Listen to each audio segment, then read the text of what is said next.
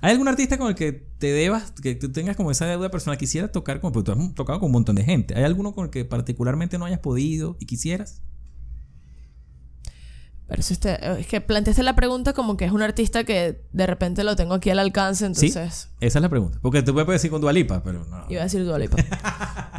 Uno que puedas y no se haya dado por alguna razón, pero que quisieras.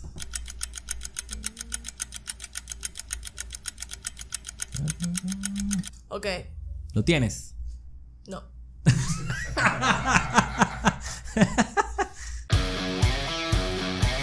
Desde el staff. Conversaciones con quienes hacen que la música suene. Conoce qué hay detrás del show. María José Castejón, Marijó te digo entonces. Muy buenas tardes. ¿Cómo estás? Bien, Néstor, gracias por la invitación. No, gracias a ti por venir. Feliz. Porque yo sé que andas. Bueno, esta semana ganaron el premio Pepsi Music callado. Felicitaciones. Y además, bueno, tuviste un performance, una participación allí. Sí, me invitaron a participar. Bueno, la maestra Ana de Torrealba me escribió, me llamó Marijota, no sé qué, y cuando me dijo Reinaldo Armas, Luis Silva, Rumi Olivo y yo, y yo, ¿y qué? Qué responsabilidad. Demasiado. Pero, buenísimo, pero buenísimo. Maravilloso. excelente, felicitaciones. Gracias. Felicitaciones por el premio. Ay, gracias. Callado para arriba. Van Amén. como la espuma, ya vamos a hablar de eso. Muy bien. Mira, ¿te suscribiste al canal de YouTube? Ay. Y tú te suscribiste al canal de YouTube, ya sabes, suscríbete aquí. Síguenos ¿Estoy en las raspada? Estás raspada. Síguenos en Instagram, arroba desde el staff. Eso sí lo tengo. En TikTok, arroba desde el staff. En Facebook desde el staff. Y si no quieres ver esta cara, está en las plataformas de audio. Anchor, Spotify, Apple Podcast, Google Podcast. Y bueno, tú nos consigues. Búscanos en Google y estamos ahí. Muy bien. Bien, María José Castejón, entonces, percusionista, maraquera o maraquista. Maraquera, creo que, se- creo que esa es la palabra técnica. Ok. Lo, lo he estado hablando mucho esta semana y creo ¿En que. serio? Sí, sí, sí. Porque eh, la gente al, al ver que hay como un oficio al respecto, que hay una profesión o un arte de, de trabajo con respecto a este instrumento, quieren decirlo de la forma más formal, más profesional. Y claro, te encuentras con la palabra maraquero, que también es una palabra muy casual cuando te cuando dices, dale maraquero, tal, dale Ajá, maraquero. claro. Eh, entonces, pero sí, hasta ahora esa es la palabra. Ok, bueno, tú- aquí vino Manuel. Vamos a poner el clip aquí de Manuel. ¿Cuál es el clip de Manuel? ya lo vas a ver, cuando tenga el programa lo ves. Dios. Pero maraquero es el término correcto. Sí, La sí, gente dice maraquista. No, Eso maraquero, maraquista, pero nunca mariquero. Ya sabes. Este, ¿Cómo empieza esta película, María José? Pues tú, tú naciste en Ciudad Bolívar. Ah, bueno, y ahora también eres locutora. Olvidé decir eso. Y mucho más, su locutora de confianza. ¿Cómo empieza esta película si Pero tú la mega. naciste en Ciudad Bolívar? Después viviste en Puerto La Cruz. Vives en Caracas. Tu familia es de Sarasa. ¿Qué es esto? ¿Qué angustia es esta? ¿Por No, tú esto, es- esto es como una sopa, como un cruzado. Esto es como un cruzado ahí que tiene un poquito de todo, pero, pero sí, yo nací en Ciudad Bolívar. eh, mi papá trabajaba en la CBG en esa época y mi mamá estaba haciendo su posgrado de medicina familiar allá en, en Bolívar. Ella es de Sarasa, ok. mi papá vivió muchos años en Sarasa, a pesar de que es nacido en Caracas. Y bueno, esa historia de amor se fue llevando a cabo y nos- me tuvieron a mí, a mi hermana menor. Y estábamos en Ciudad Bolívar. Mi papá trabajó mucho con el maestro Soto. Allá cuando estaba residenciado allá en Ciudad Bolívar. Y él, él hacía estas obras de las bases de las instalaciones de su... De su Ah, chévere, de las obras. de las claro. obras que él hacía. Entonces tenía como una relación con él bastante bonita de trabajo y, y me la mi hermana y yo nos las pasábamos metiéndonos en los penetrables y haciendo ruido y bueno, casi nos destrozábamos y nos botaban del museo un par de veces por ahí. Cosas que pasan. es Tremenda anécdota, ¿no? Ay, sí, maravilloso. Y Pero iba- nada que ver con la música, ¿no? Arte, pero... Bueno, se, lleva, se llegaban saxofonistas como Víctor Cuica, escuchábamos Serenata Guayanesa en el Parque La Llovizna. Claro. Entonces ahí tú, tú, me, escu- tú me ves a mí escuchando Serenata Guayanesa y me vas a ver que... serio? Sí, sí, sí, es maravilloso. Tengo, tengo que hacer una visita próxima a- allá a Guayana porque quiero reencontrarme con ese, esa María José que vivió allá un tiempo. Qué fino, qué bonito. Sí, ah, bueno, entonces después nos mudamos para Puerto La Cruz. Y. Y bueno, viví, viví toda mi vida allá en Puerto La Cruz, me considero de allá porque, bueno, toda la parte que, que uno disfruta, que recuerdas, porque básicamente es eso, que recuerdo esa niñez más que quizás la que estuve en Ciudad Bolívar. Y allí empecé con la orquesta, con la, tocando cuatro, en la orquesta típica de lechería, bajo la tutela de la profesora María Elena Lautrera, una maestra, bueno, fantástica. Claro. Y ella fue la que me dijo, epa, agarra el- la tambora porque vas a romper el cuatro. Me pasaba que en las gaitas empezaba a meterle con los golpes el taco tu a las Ok, parrandas. ok. y entonces, bueno, toma la tambora. Y ahí empezó mi iniciación en la percusión, muy básico y sencillo, tradicional. Era malísima tocando maracas, así que no, ni lo intentaba porque cuando iba al maraquero le decía, no, enseña. No salía nada, entonces yo me quedaba con mi tamborcito y ya. Cuando me fui a la Orquesta Sinfónica del Estado en Suátegui, ya para estudiar percusión un poco más avanzado con los instrumentos de orquesta sinfónica, tímpanis, vibráfonos, los teclados estaban completos, todo lo que era la, la percusión de bombos, redoblantes, pla- platos, to- toda esa gama ya era más de orquesta perteneciente al sistema porque eran un poco más grandes y estaban mejor dotadas y equipadas.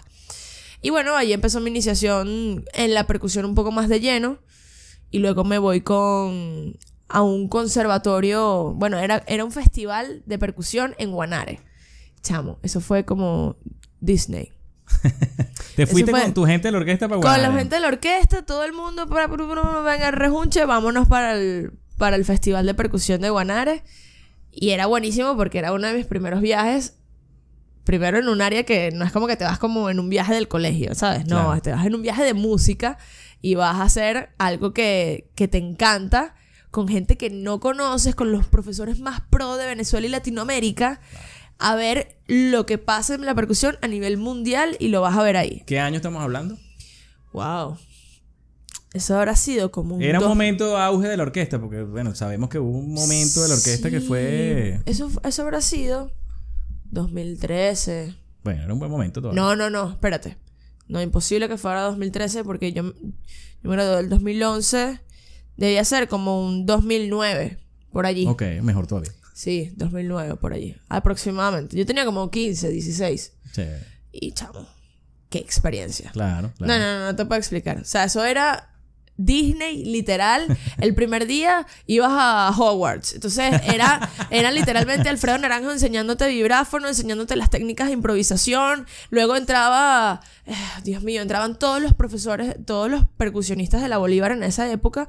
Que esa época, la Bolívar, dirigida por Dudamel, Claro. era una de las orquestas. Por eso te más digo, era un momento. Claro, entonces estaban todos los más pro, los profesores, los gochos, que te enseñaban a tocar redoblante, que tenían las técnicas más, o sea, ellos son los que tocan eso como es. Y ellos estaban ahí enseñándote. Entonces, claro, yo súper pichona. Yo estaba casi que más disfrutando la experiencia, la vivencia que, que, hace, que casi está aprendiendo porque yo estaba apenas iniciando la percusión como tal. Entonces, está, todavía estaba necesitada fogueo. Y ahí me encontré con Gilmer Rivas, que es un percusionista, o sea, fuera de serie. Él, de hecho, él trabaja con el Cirque du Soleil en, en, en Estados Unidos. No te puedo explicar el nivel de, de- Claro. del nivel de ese pana. Eh, Gilmer hace como como un taller de maracas, porque todo el mundo como que, conchale, maracas, yo Gilmer, todos algunos queremos aprender. Yo tenía mis maracas que ya me las habían regalado. ch, ch, ch, ok, pero ya tenías como el gusanito ahí del. ya tenía el gusanito. Entonces, Gilmer, bueno, muchachos, ajá, ¿quiénes son? Tal, tal, tal. Fulanito de Guanara, el otro de Apure, el otro de, Puerto La Cruz, hombre, vénganse. Literalmente fue el último día del seminario. Ya nos íbamos a hacer como, ah, no, y todas las noches había un concierto de demostración de grupos de, de percusionistas, de ensambles de percusión. No, no te puedo explicar. o sea, era como fuegos artificiales, el show de fuegos artificiales todos los días del seminario. Tal cual. Disney. O sea, en serio que es Disney. Qué fino que, que lo que se vivía ahí. No, no, impresionante. Entonces, eh, Gilmer nos agarra y dice, epa, así, técnicas, pa, pa, pa. Y eso fue como una esponja que yo agarré y, y gracias a esa mini clase fui agarrando unas técnicas que, que quería yo aprovechar con las maracas porque no las tenía, no las tenía como tan claras y, y eso me ayudó como que a, a estudiar yo sola, poco a poco. Y bueno, ahí fue empezando ese camino de luego conocer a otros músicos también. Ernesto Laya, me imagino. Claro. Y Manuel Rangel también. Manuel Rangel. Eh, Por cierto, los cinco movimientos. ¿Tú has, has trabajado con Manuel Rangel? ¿Has hecho algo con eso? Chamo, yo vi clase por primera, bueno, una de mis primeras clases después de las de Gilmer, eh, que, que fueron así súper serias, me la dio Manuel. Y él me explicó los movimientos y tuve como ese, ese privilegio de tener esa clase súper VIP con Manu. Y fue maravilloso porque la forma en cómo él explica las maracas parece una clase de física en serio. Porque lo es, ¿no? Además. 100% y nunca lo había visto así. Y la forma en cómo él me lo, me lo explicó, el vocabulario que utilizó, me pareció fascinante. Qué forma de preparar un instrumento de esa forma y hacerlo tan técnico. Y, y Manuel me enseñó eso, me, me, me dio como, epa, esto lo puedes hacer de esta forma. Él no me lo dijo, pero eso fue lo que yo entendí. O sea, la forma tan profesional y el vocabulario como que, con que utilizó para explicar un instrumento como las maracas me fascinó, me, me engolosinó de decir, Dios, ok, aquí hay un camino demasiado amplio y, y me interesó muchísimo la forma en cómo él lo hablaba, como Ernesto Laya lo hacía y lo hablaba también. también. Y bueno, eso siempre me ha inspirado como un poco al norte, a donde, donde siempre quiero ir, pues. Claro, son unos referentes importantes, pero claro, Ernesto Laya es como, yo, yo lo veo así, ¿no? Es como, Es el Dios. más grande Es Zeus. en, en- en el mundo de las No maracas. hay para dónde agarrar. Pero Manuel, lo interesante de Manuel Hércules. es está muy bien. Es Bueno, no, él este, se merece, él se merece ser como un... A ver. Claro, es que todos conocemos a Ares, pero no iba a decir Ares porque no es nada conflictivo. No. Sería como un... Bueno, tú me entendiste la idea. Está bien. Otro dios ahí. pam. Lo interesante de Manuel es eso, que, que, que pudo, a ver, pudo traducir todo Sí. eso que ya estaba, digamos, Sí. él lo explicó con nosotros acá, el- eh, eh, todo lo que él veía y empezó a hacer una investigación Sí, exhaustiva para sí, detallar, 100%. este, Él- acá, eh, eh, digamos, Le hizo... Lo hizo una forma un didáctica. lenguaje. Él le hizo un lenguaje. Exactamente. Un lenguaje leído. O sea, un lenguaje que puede ser interpretado por cualquier persona que pueda leer música. Mira, entonces, la primera oportunidad, digamos, profesional que tuviste, o cuando te lanzaste al ruedo así, cuando ya toco maraca, ¿en qué momento tú dices, bueno, ya yo estoy lista para. Porque empieza son de palma. Al son de palma. Iba a decir eso, justamente. Ajá. Al son de palma. Estaba en la universidad y estábamos armando como este grupito de gaitas, los fiebrugos que no solamente queríamos estudiar y ya, sino que queríamos tocar. Claro. Y se armó este vente tú para hacer unas gaiticas bien chéveres en la Simón. Y en esa de que mientras ensayó una canción y ensayó otra, la pianista de la, de la agrupación, de, de la Simón, empezó a tocar un, un pajarillo y de repente lo pasaba un montuno y yo, epa, y saqué mis maracas y ratatatatata. entonces empezamos a tocar, el bajista empezó a tocar también y la cuatrista se pegó también y yo, ¿qué? Aquí está pasando algo. Al son de palma. Así nació el son de palma. Así de simple. Así nació el Pero son ya de tú te palma. sentías lista para. Cero. Vamos a darle. Cero. Cero. Eso era un, eso era un plan de.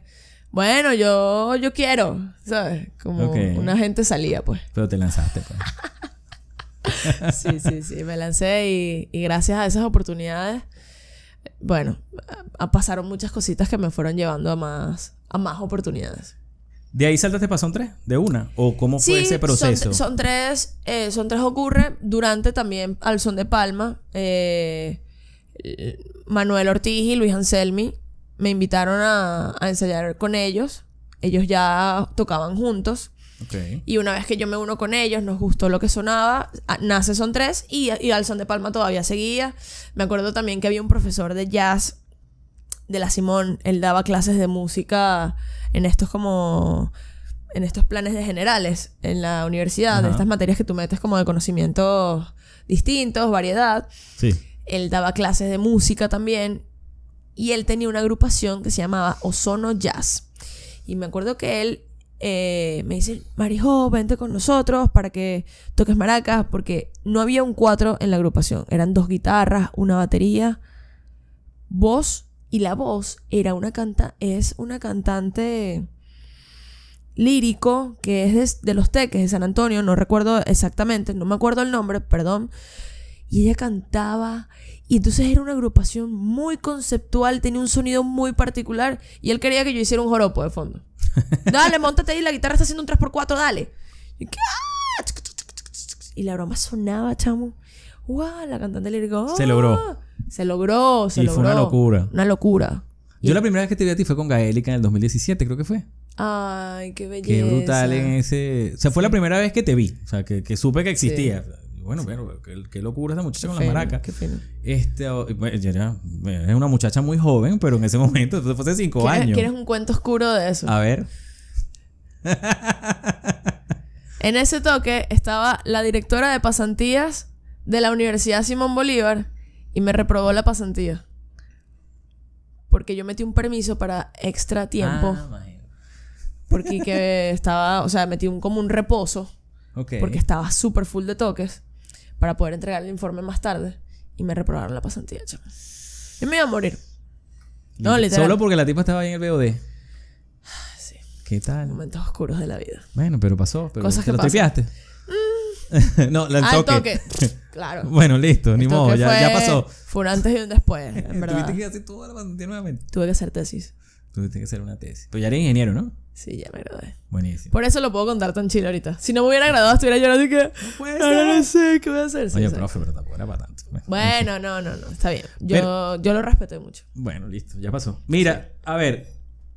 Entonces tú trabajabas en un montón de proyectos al mismo tiempo. o- No, o- bueno, eh, el, el de, por ejemplo, ¿Cómo el de Sono? Jazz fue, co- fue como invitaciones. Al Son de Palma era con quien era, Era tu- los, que, era los que ensayábamos y, Ok, y le poníamos. ok. Y me acuerdo que nos presentábamos en un local que se llama Taima, que está ahí en La Bollera, Ajá, no sé sí. si lo conocen. Sí, sí. Y bueno, ese era el fijo y nos comíamos nuestras pixitas, tal, tocábamos. Ajá, ajá. Y vacilón, vacilón bien chévere. Eh, luego con Son 3 entré como en un, en un formato de, de agrupación distinto porque Son 3 tocaba más en eventos privados. Al Son de Palma tocábamos en locales, pero Son 3 tocaba en el bautizo, en la comunión, en la entrada de la boda, en la recepción. Entonces era algo como distinto y también, ay Dios, y también tenía, empecé a ganar más plata también. Claro. Y entonces ahí el- la cosa se puso jocosa, bien chévere, porque esto, es estaba estudiando. Sí, no, y era, y era excelente. Para mí fue maravilloso porque me permitió mantenerme independientemente financieramente de mis papás, por ejemplo. O sea, a mis papás yo les dije, no, no, tranquilo, vamos. Mi hermana también estaba estudiando medicina en la central, en la, en la facultad de la- en la Vargas, perdón. Y, y yo estaba en la Simón, las dos estábamos viviendo acá residenciadas. Claro. Entonces, conchale, cualquier entrada extra, uff, es, es maravilloso.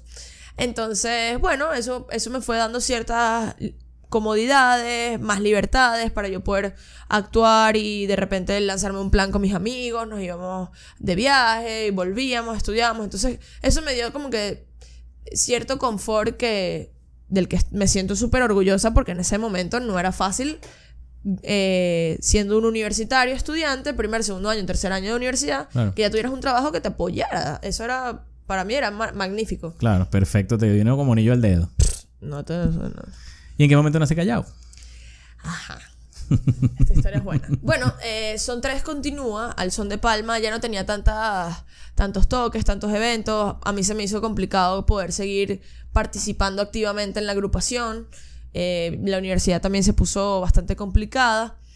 Y, y bueno, mi prioridad también por tema financiero, Son 3 me estaba dando muchísimas Claro. cosas más y, y también estaba empezando a conectarme mucho más con como que con esa visión de, de esta agrupación más que con otras.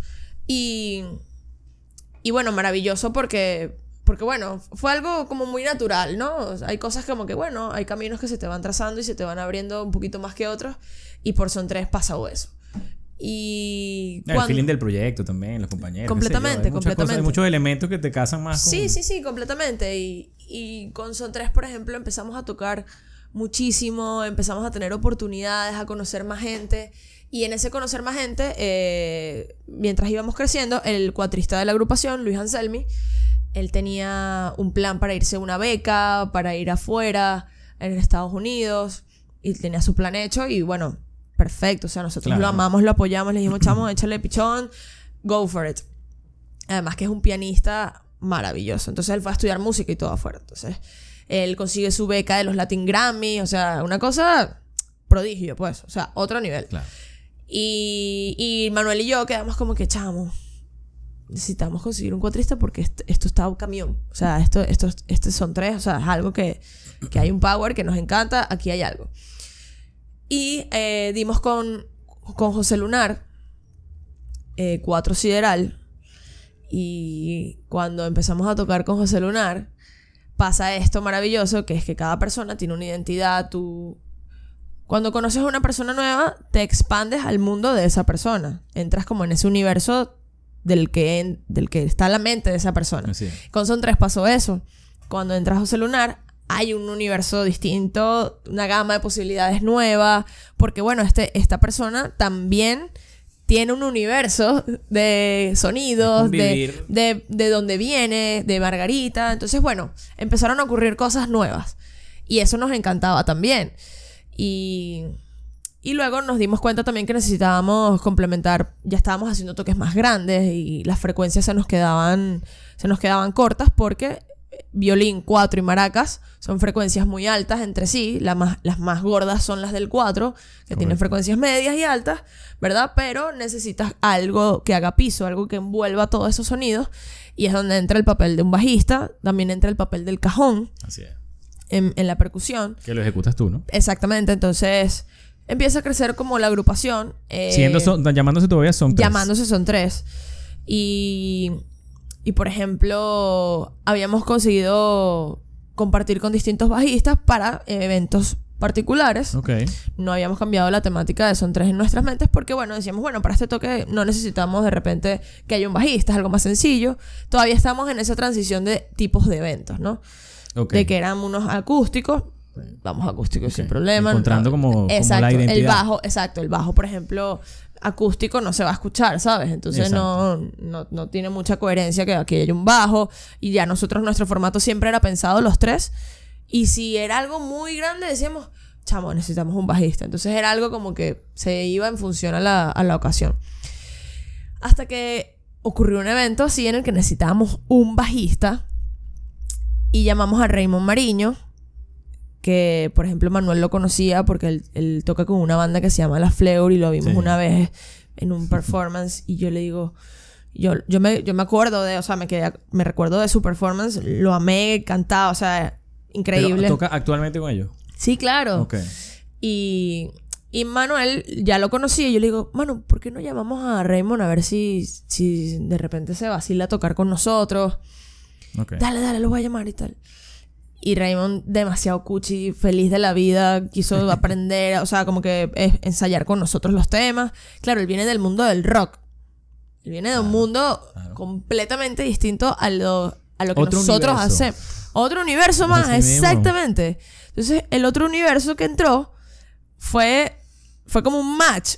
Fue perfecto. O sea, el, el primer toque que hicimos fue tan, tan increíble Porque pudo no funcionar, fue un riesgo. pudo no funcionar. Una Ojo. apuesta que hace. Claro, y al final el toque iba a salir, Claro, va a sonar, Va a pero sonar, no necesariamente va pero no va a haber necesariamente va a haber magia. Y en ese toque hubo demasiada magia y ahí nació Callao sin nosotros saberlo. Eh, pasa el tiempo, empezamos a tocar más, empezamos a tocar más, ya era fijo. Ya Raymond era parte de, Ah, de chévere, Son 3. Ya eran de ustedes. Ya Raymond era parte de Son 3 y con ustedes son 3, pero son 4. Son cuatro. odiábamos esa línea. Y ya dijimos, ok, ya nos tenemos que cambiar el nombre y empezó el proceso de identidad, cómo hacer Callao, porque ya no somos son tres. Fue más para nosotros que para la gente. Una vez que nosotros entendimos qué significaba Callao para nosotros, qué representa el cambio, supimos cómo mostrárselo a la gente. Para nosotros, bueno, esto, esto es lo que yo cuento porque es lo que es mi percepción, claro. Cada uno de ellos tiene como una percepción distinta del cambio.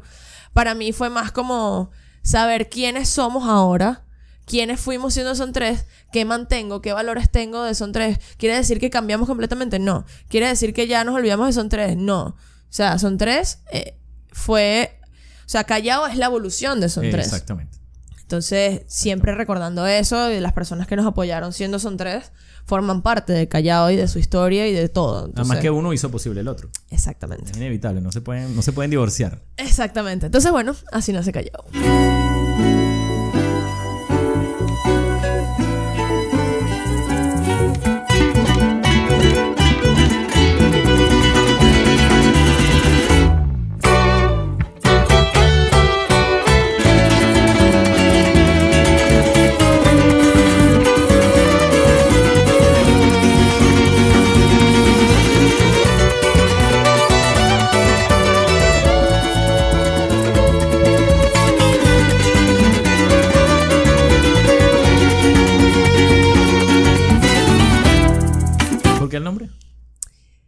Callao nace como una alegoría al silencio.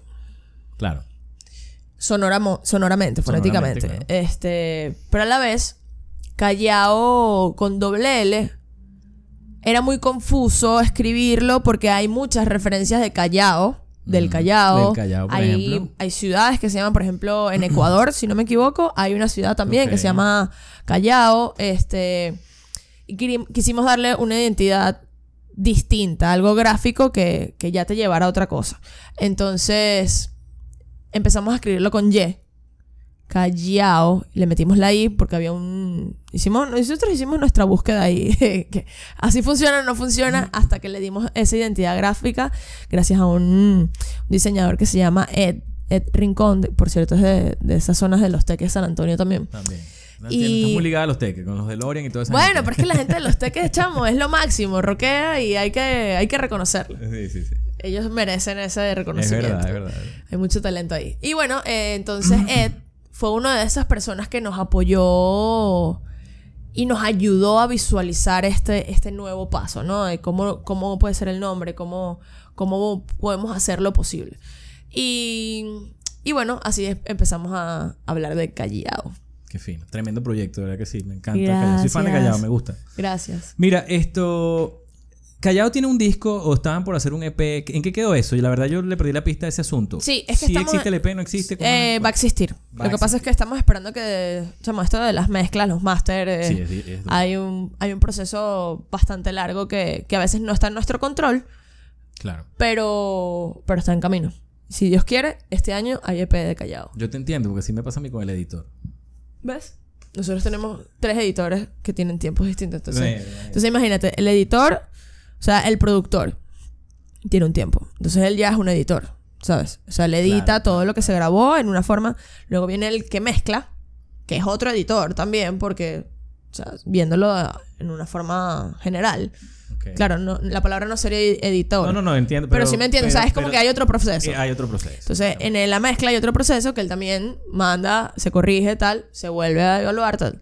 Luego, el máster. es- Entonces, son tres tiempos, Sí, tres que- procesos. Y hay, y hay un, como una línea muy delgada. Bueno, eso es. Eso es un todo. Y luego después, tema. bueno, el proceso del lanzamiento, la fecha, que no, que esto, que sí, que la registraste, que si no la registraste. Claro. No sean músicos, mentira, sí. sea. Pero bueno, nada, esperamos que venga pronto. Esperamos que venga pronto. No, va a venir pronto, de hecho estamos emocionadísimos. eh, ya hay video de dos temas, tres temas de esos que van a salir. Buenísimo. Eh, hay uno que está listo, que está a puntico de... Está ahí mismito, está ahí mismito, mosca. Arroba callao. Y síganos en nuestro canal de YouTube también. Y sigan el canal de YouTube desde el staff, por supuesto. Y tú también. Yo me suscribo al tuyo y tú te suscribes al mío. 100%. Claro que Ya sí. sabes. Claro que sí. Mira. No me suscribí porque no tenía la computadora, no me juzgues. Mal hecho. Mira, Marijo, estos instrumentos que están acá, cuéntame un poco quién es tu luthier. ¿Tienes un luthier en particular? Tengo dos luthier ahorita. A ver. Eh, Jorge Carrero, que es el que Ah, bueno. es el luthier de estas maracas, que él está en Barinas. Él tiene como. Él es ese luthier que tiene como que todos los juguetes, ¿sabes? Sí. Tiene los colores, tal. Este, juega con. Eh, se atreve como a jugar y a disfrutar esa personalización del instrumento. El maestro Lorenzo Alvarado, que es el luthier, de, este, él está en Barquisimeto. Él tiene unas obras de arte. De hecho, déjame pasarte para mostrarles las maracas. Ahí, si me puedes acercar el otro estuche. Bueno, estas otras maracas, por ejemplo, son las que yo uso para grabar. Suenan muy distinto a estas que son de Jorge Carrero, porque claro, lo que está adentro, Ah, mira, tienes las que mostrarlo semillas. porque se ve aquí el nombre. Sí, entonces, por ejemplo, estas, mira cómo suenan. Tienen un sonido distinto a este. Entonces, en esta hay más ataque, más brillo, más golpe. Este es para el vivo. Este es para el vivo y para el en vivo. Y esta es. Esto es delicadeza pura. Claro, claro, claro. Entonces, bueno, eh, Lorenzo tiene. Tiene a veces como que esa. Esa magia, al igual, distinta. Es una, cada uno tiene una magia que, Claro. que a mí me funciona de este tipo, o sea, de este estilo. Yo la uso de esta forma. O sea, yo uso a Jorge Carrera, por ejemplo, en este, en este performance personalizado con mis maracas fucsia. Tienen un ataque bastante definido. Yo, por ejemplo, cuando estas maracas las mandé a hacer, eh, tocaba mucho música electrónica también y necesitaba algo a nivel de show, visual, con luces, que tú le pones una luz azul a esto y cambia completamente. Perfecto, claro, O sea, claro, así el es. color como que se, eh, se transforma un poco. Y estas maracas, porque ya había momentos en los que necesitaba grabar, necesitaba acompañar algo más delicado, un cuarteto, un ensamble acústico. Necesitas tener, bueno, a mí me gusta tener la versatilidad de poder tocar super piano y tener un buen golpe también. Ahora, eh, bueno, ambos, uno está en Barinas y el otro está en Barquisimeto. ¿Cómo, hace, cómo, ¿Cómo haces con el sonido? Te manda una prueba, tú le das unas especificaciones.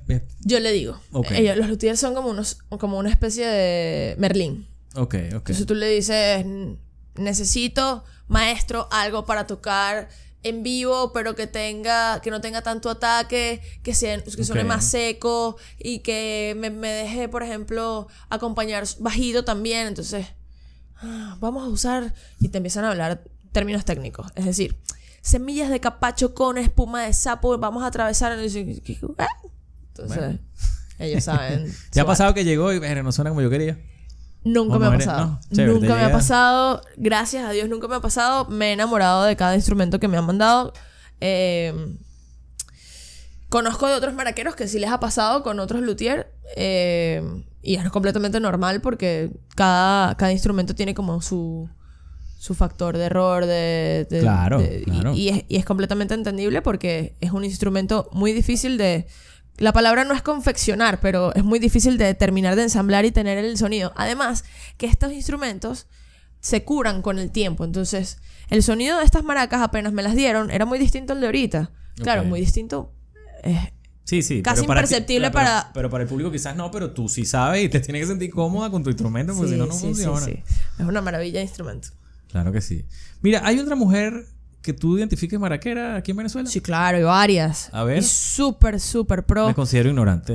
No, bueno, pero está bien porque la idea es darlas a conocer Claro. y, y me encantaría poder hablarte de varias de ellas. Bueno, una de las que yo uso de referencia y, y le pregunto qué referencia utilizo para estudiar, por ejemplo, Joropo Oriental, se llama Reina del Pilar, ella es de Barinas Ok. y toca como no tienes idea, es una maestra.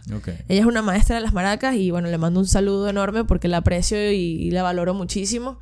Ella, con ella es con la que he tenido un poco más de contacto y hemos conversado y compartido quizás un poco de, de, esa, de esas anécdotas de colega, de- si- siendo de, de las maracas.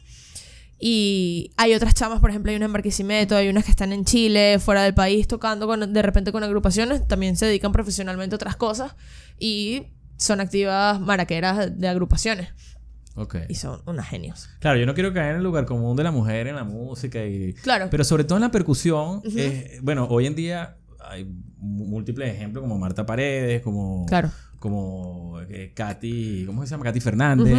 Cracks. Todas que son, por supuesto, ya eh, unos niveles muy altos, ¿no? Pero esto, bueno, por la gente, ah, te- hago la pregunta porque de repente las, las chamitas que nos están viendo y de repente les interesa, no, pero eso es como muy masculino, ¿no? Para nada, veas. para nada. Para que tú veas. Yo creo que la esencia de cada persona va. Va a pesar de cualquier instrumento que tú toques. Me pasó a mí con las maracas. No fue algo que busqué. Simplemente lo disfrutaba. Tocaba maracas porque quería. Y, y ya, tu esencia es tu esencia. Tú decides Así cómo es. tocar tu instrumento, cómo, cómo interpretarlo, cómo, cómo ejecutarlo, cómo, a dónde llevarlo. Así que es algo completamente personal de cada quien, pues. A mí me da el feeling hoy en día, y, y- y, bueno, celebro que esté pasando, que, que haya gente como Elisa Vegas que se Claro, hace ver claro. así. Bueno, tú también eres un Gracias. referente, y bueno, infinitas mujeres exitosísimas en la música que se están viendo. Qué bueno, ojalá vengan más. Gracias. Qué Mira. bueno, claro que sí. Tenemos una sección. ¿Tú sabes quién es DJ Melchor? ¿Has oído hablar de Sí, DJ claro. Melchor? Melchor Backline, Melchor. por si acaso. Sí, exactamente. Bueno, él es el encargado de hacer una pregunta incómoda a nuestros invitados. Se llama la pregunta desafinada. Tú puedes decir no responderle y no va a pasar nada. Y- pero que, que chimbo, o sea, que digo, no, no voy a responder. O sea, Bueno, tú quedas así con la audiencia, no respondió. No quiso responder. me encanta, le pusieron picante. Ajá. Te voy a lanzar la pregunta. Bueno, él te la va a lanzar. Va, Dale, Melchor. Melchor Backline.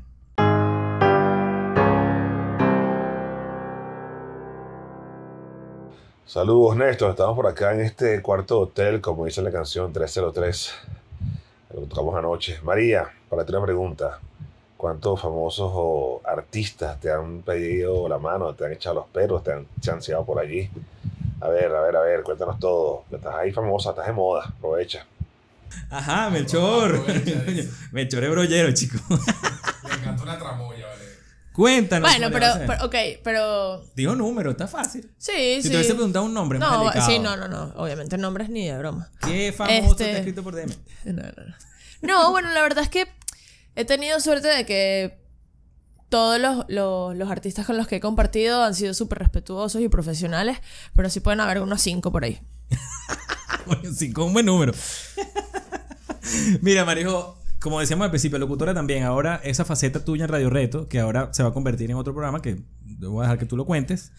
¿Cómo llegaste a la radio? Échame el cuento. Ay, esa historia la amo porque hay, un, hay un personaje muy, muy, muy especial en mi vida últimamente que se llama Alejandro León.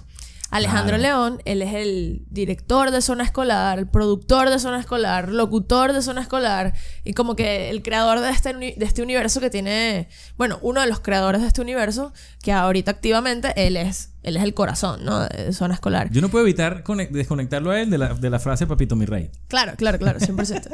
y, y Alejandro, justamente en, el concierto de Gaélica que tú Ok. me viste, él también me conoció ahí. Ah, sí. Sí, y a raíz de ese día, él me invitó a, a una entrevista de, de zona escolar. Chéverísimo. Eh, coincidimos en alguna.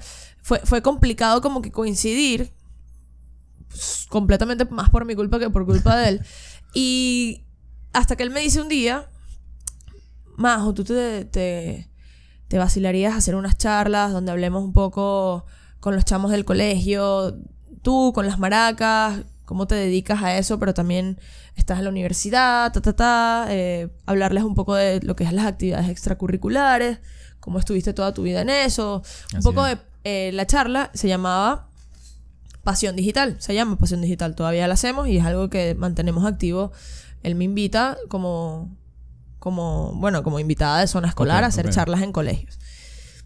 Y hicimos una gira digital en pandemia con más de 50 colegios a nivel nacional y estuvimos con más de 3.000 estudiantes aproximadamente, impactando en colegios, o sea, te hablo de números alocados de gente que estuvo metida en las charlas, colegios, profesores, papás que también escuchaban porque escuchaban lo que las- los chamos escuchan en la clase, porque también eso era complicado. Y nos, o sea, hicimos súper buena química, nos fue súper bien. eh, y bueno, empezamos a trabajar juntos allí en estas charlas. Él un día random me pregunta, los chamos como que hicieron como una especie de, de sindicato y dijeron, no, no nos vamos a conectar en esta charla, qué fastidio, algunos, algunos estudiantes de un salón, fue comiquísimo. Y Alejandro y yo metidos en el Zoom y que, bueno, no hay charla. ¿Qué más? ¿Cómo estás? ¿Sabes? Así, ¿Cómo está ¿Cómo está todo? Y en una de esas él me preguntó, Chema, ¿tú te atreverías a hacer radio? Y yo que sí, ¿qué? Sí, no, jamás, claro, ¿sabes? Como esta, esta Sí, sí, dualidad sí, de, sí, sí, me muero por hacerlo, qué Pero- miedo. Exacto. Pero le dije como que me encantaría probar en algún momento, sí. ¿Pero por qué? No, no, no, no por nada particular y tal. Y ajá, o sea, que me lanzó esa pullita y ya no me dijo más nada. Luego, tres meses después, cuatro meses después, la compañera de radio don- don- con la que él estaba trabajando se iba y empezaron, me, me llamó y me dijo, mira, va, la Mega va a empezar a buscar candidato, candidatas para acompañarme en el programa y yo quiero postularte a ti como una candidata, vas a estar con otras chamas también que van a estar probando a ver qu- quién puede hacer match y tal. Y yo, ¿qué qué? Sí, me puse así casi que los pam, chan, chan, chan, ¿sabes? Yo voy a ganar esto, quiero, quería Y hubo, mucha, demasiado. hubo mucha, mucho casting, mucha gente, mucha... Bueno, eran, eran tres, tres chamas, cuatro chamas creo que eran. Y, y bueno, todas yo las amo y fan del trabajo que hacen. Más dura. Tuve, sí, sí, sí, tuve, tuve, tuve la suerte de, de haber sido escogida. Y así nace mi participación y mi, involu o sea, me involucro en- como locutora en La Mega. Y fue... Además, en la mega, entraste por la puerta grande. pues. Dios mío, no te puedo ni explicar, no te puedo explicar el nivel de emoción. Y desde ese momento fue fue, fue un super match, fue perfecto. Eh, los muchachos de Callao, yo les digo, muchachos, me están ofreciendo esta oportunidad. O sea, es todos los días, de 3 a Claro, 4. porque también tienes el Claro. tema de los ensayos. No, y además de que tener algo así de fijo era bastante disruptivo para mí Claro. en ese momento teniendo un horario que por más que tú dices que es flexible, no te imaginas haciendo algo fijo todos los días a una hora. Es súper wow. O sea, esto, por, por más raro que suene, No, para sí, las personas entiendo, que, complica. que, que tienen tiempo no trabajando en un horario establecido, eso te, te cambia, te cambia completamente tu, tu visión de cómo va a ser tu día, tu semana, tu Claro, todo. Adaptarte. Tu estructura, pues. de- Eso, estructurarte. Sí, justamente. entonces los muchachos me apoyaron muchísimo, dale, échale pichón y yo estaba emocionadísima y fue, fue maravilloso. Más bien me encantó tener más trabajo. Me, me recordó que que mientras más cosas hago, más me organizo, más, más Claro, puedo hacer, más me obligo a hacer más y esa fue una barra como que me exigió Alejandro. Lo admiro tanto que no tienes ni idea de lo- todas las cosas que me ha enseñado, me sigue enseñando y todo lo que me falta. O sea, tiene demasiada experiencia. Demasiada experiencia. Y Desde productor, desde de chiquitico hasta... todo, de todo, hasta- de todo. Sí, hasta o sea, to- Monstruo, de to- Alejandro. todas las ramas de la radio, creo que él como que las vivió y las aprendió. Sí.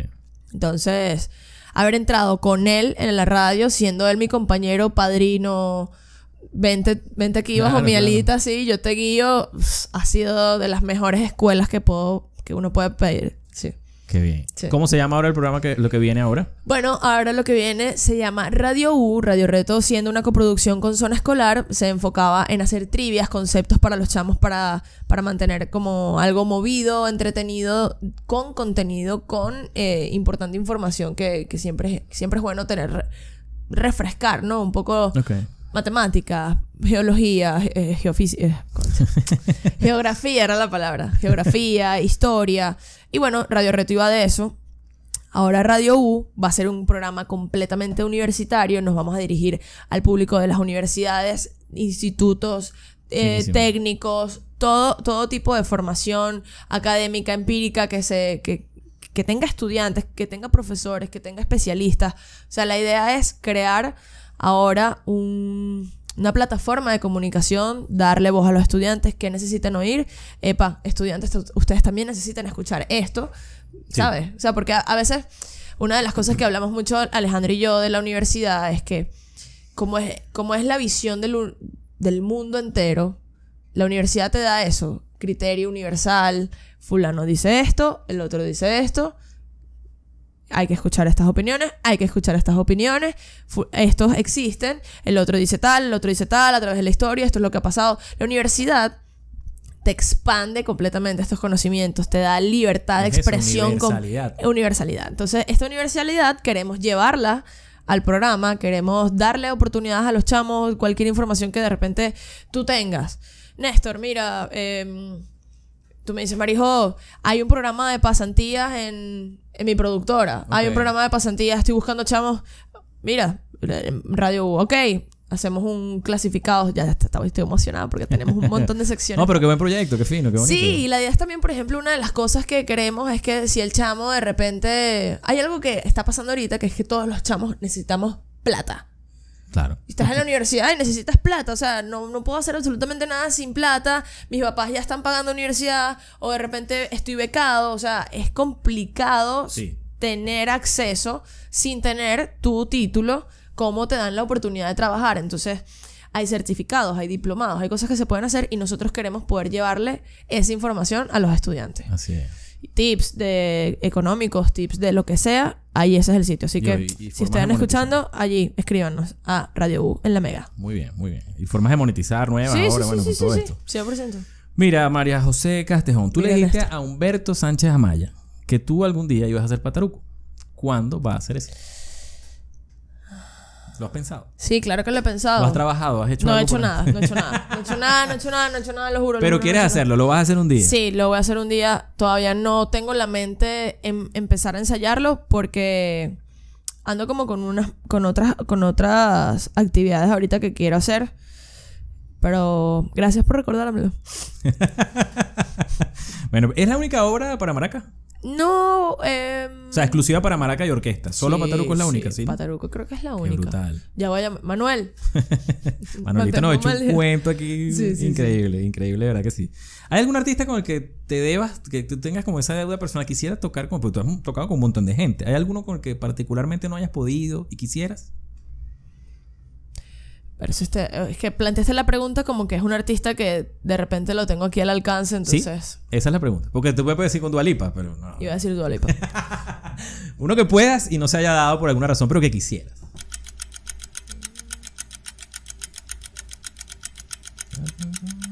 ok, ¿Lo tienes? no. sí, es que está difícil porque he tenido oportunidad de tocar con músicos. Bueno, Ensamble Gurrufío me dejó tocar Por con ellos. Pero. Alfredo Naranjo también.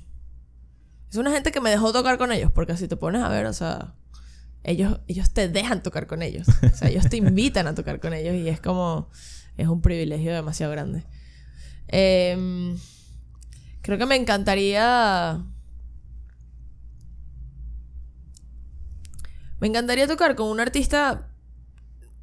A ver, yo siento que los cantantes venezolanos tienen un superpoder y hay uno que, que ahorita está muy, muy en auge internacional también. Está como en otra rama a la que quizás en la que yo me estoy desenvolviendo. Pero por ejemplo, Nela. Uf, Nela. Pero no es como que la tuve cerca en algún momento. Entonces, funciona igual que Dua Lipa, ¿sabes? Entonces todavía tengo que responder. no, pero está bien, está bien Nela. Funciona, te, te Sí, funciona. Está chévere, está bien Nela. Está bien Nela porque se bueno. cansó de esperar, se cansó de esperar. Por, no, porque dentro de todo, Nela, bueno, podrías llegar a Nela. Si te empeñas, Nela vino hace poquito, estuvo en el Ey, sistema. ey, Podría llegar a Dua Lipa, ¿ok? Solo necesito Es más un tiempo. más difícil. Ah, Solo necesito más tiempo. Digo más inmediato. Ajá, ok. no, claro que sí, Mosca, por supuesto pues. que sí. Mosca, pues. ¿Te ha pasado una vaina loquísima en escena que tú digas? Salió una maraca volando. ¿En serio? Sí. ¿Le pegó a alguien? No, la agarraron y, y bueno, tiene. Ustedes ven, no sé si pueden hacer zoom de repente aquí. Tiene como, como unos huecos. Esos huecos. No siempre es que sale volando, a veces me las, las choco entre ellas. Ya el Luthier me dijo, mira, sería bueno que me mandes las maracas para, para retocártelas. Mira cómo está esto. Ah, bueno, claro. Porque le estoy, ahorita estoy, estoy on fire, le estoy dando platillos con la maraca mientras toco. Claro, claro, claro. Pero si tú, ah, con Callao haces percusión, haces Sí, muchas sí, cosas, sí, no solamente maraca. Así es. La gente que no ha visto Callao se está perdiendo un tremendo show. Así que bueno. Pendientes. Mira, ¿sabes que vi? Bueno, eh, cuando estaba buscando información sobre ti, Dudamel. también es un. Eh, tiene que estar. Y. Perdón. A y. Con Ernesto Laya nunca he tocado. Ah, ¿ves? Ernesto Laya. O sea, hemos tocado como en plan de casa, tal, tal, pero. El En un show con el maestro. Claro, ese es el tipo. Muy bien, check. Y un salsero. Falta un salsero. Voy- a seguir durante toda la entrevista que queda. Voy a seguir lanzando nombres seguir para que sepan. gente. Sí, exacto. Mira, Marijo, este, yo escuché tu programa con Román Losinski, La Rocola. Brutal. Y vi que, bueno, eres. Por eso me acordé de Dualipa, porque eres, obviamente, muy melómana, como músico al fin. Entonces tus géneros son desde, qué sé yo, desde ensamble gurrufío, Variaditos. así mismo, serenata guayanesa, hasta lo que venga. Entonces, bueno, surtiditos ahí. no te voy a preguntar sobre tus géneros musicales porque son bastante amplios, pero yo, como ya vamos aterrizando el cierre, hay un hay unas preguntas que yo le hago a todos los invitados que vienen que siento que para un músico son complicadas de responder. Ay, no nos digas que sí. No me digas que sí. ¿Cuál es tu canción favorita? Exactamente, vamos para allá. Pero la primera es un músico que admires. Hamilton Holanda. Ah, pero lo tienes claro, ¿viste? No estaba tan peludo. No, bueno, porque. No sé. Ahora sí, un tema musical o canción. A ver. Sí. Bueno, no sé. Yo creo que. eh, Tema musical o canción. Depende también cómo, cómo esté. Me voy a poner astral. La que te venga a la mente, pues es que claro que... que- San Agustín de Vitas Brenner. Esa es la que me viene a la mente ahorita. Porque estoy como que en ese mood ahorita. Bueno, con Román también ah, dijiste que esa era una dije tus temas esa. favoritos. Esa era una de que mis bueno, no te puso, no te cerró a una sola, pero la mencionaste. Sí, esa es una de mis favoritas. O sea, es una de mis favoritas de escuchar y de tocar en vivo. De hecho, yo conocí esa canción tocando con el son de Palma, imagínate. Hace muchos años. Y pasan los años y yo todavía necesito tener esa canción como que en el repertorio. repertorio. Porque es una broma así como que... Es, La hacen, ¿no? Callado la hace. Sí, la, la pudimos interpretar en el, en el Saca el Pecho, en el, el festival que estuvimos allá en la Hacienda Santa Teresa. Sí. Y chamo, salió increíble. No es que esa canción tiene demasiado superpoder. ¿Qué es la música para María José Castejón? ¡Wow! La música para mí es algo así como el amor. Eh, A ver. a ver, me explico. O sea, que dicen que estar enamorado es como estar borracho. Bueno, esto no. no, Empiezan a hacer estupideces. Sí, no, a ver. Pero es cool. A ver, yo te digo, no sé si es, si es como el amor, pero es como un lenguaje que no lo puedes hablar, solamente lo puedes sentir. Ok. Y, y es un lenguaje inconsciente. Es un lenguaje sensorial, es un lenguaje de vibración, de cuerpos, y no solamente está no es un lenguaje nada más con las personas, sino que la naturaleza también conecta ahí. O sea, tuviste Avatar. Sí, claro. La música para mí es como esa vida que conecta todo. Ok, ok. Eso es la música para mí. Brutal, brutal. Me gustó ese concepto. Qué fino. Gracias. Ok, ahora te voy a pedir un favor. Y que estudié toda la mañana para tratando de llegar a ese concepto. Ahora te llevo dos, dos semanas pensándolo y gracias por menos mal que me preguntaste. Anoche estaba pensando. menos mal que lo estudié. Mira, te voy a pedir un favor personal. Wow. ¿Con qué interpretación de maracas tú invitarías a la gente a suscribirse al canal de YouTube? Y la haces, pues. Ok, vamos a ver. ¿Pero qué es? ¿Qué es? ¿Qué género es? O, Bueno, pero o lo que, o lo que venga. Ah, ok, adivino. A ver. Ok, a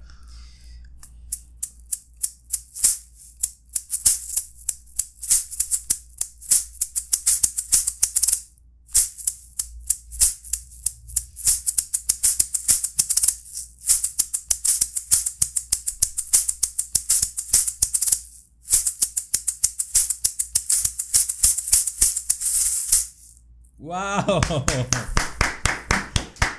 Bueno, ya sabes, no lo hagas por mí, hazlo por Marijo. Suscríbete a nuestro canal de YouTube, ya sabes, es facilito ahí ese botón que dice suscríbete. Síguenos en las redes, las plataformas de audio. Está muy fácil, nos puedes encontrar en todos lados.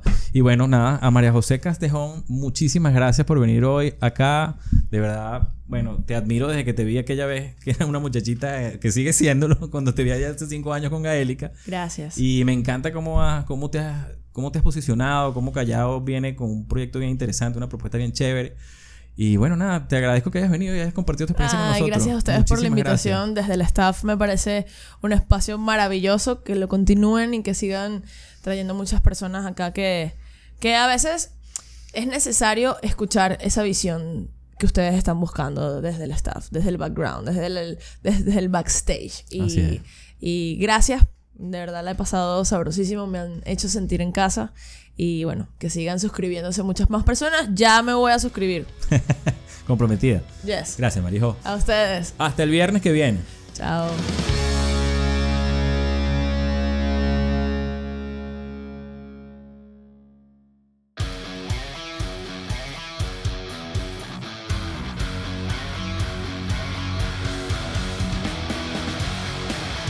Si quieres anunciar con nosotros, escríbenos a desde el staff arroba gmail.com.